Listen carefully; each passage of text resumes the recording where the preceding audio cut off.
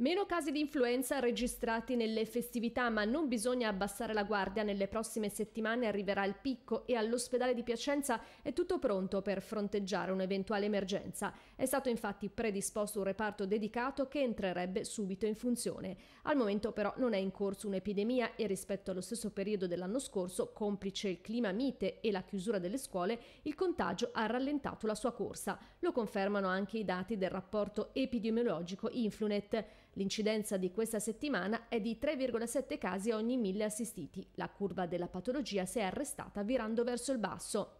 L'unico mezzo per contrastare l'influenza resta il vaccino, che deve essere effettuato da chi soffre di malattie croniche, ma anche dai sani che in questo modo fanno da scudo ai più deboli. Sicuramente la vaccinazione rappresenta il vero scudo per il paziente rispetto all'epidemia influenzale. Bisogna che la popolazione si metta bene in testa che il vaccino è quello che ci preserva e che preserva la, la, la popolazione anche locale dalla diffusione del, del virus. I sintomi restano sempre gli stessi, febbre alta, male alle ossa, stanchezza, che possono essere contrastate attraverso una buona idratazione e riposo. L'influenza, eh, quando arriva, è ehm, una malattia virale e che con una terapia sintomatica, quindi un po' di paracetamolo, con il caldo e idratandosi adeguatamente, passa da sola.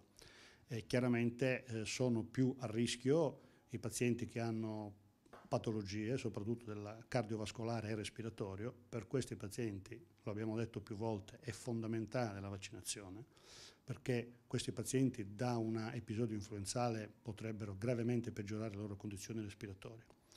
E, e, e per questi pazienti, se contraggono il virus, in genere sviluppano problematiche importanti respiratorie e devono venire in ospedale.